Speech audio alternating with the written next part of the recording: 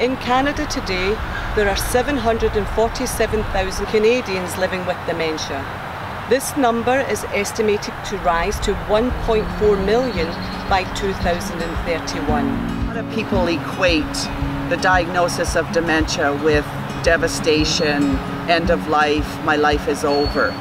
But the reality is that many people can live full, satisfying, and happy lives with the diagnosis of dementia along their journey.